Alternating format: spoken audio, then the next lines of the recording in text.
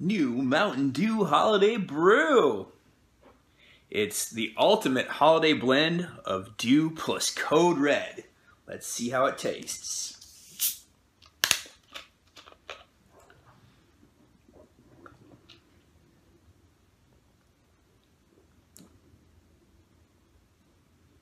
Mmm, tastes an awful lot like Code Red Mountain Dew, but a little bit watered down.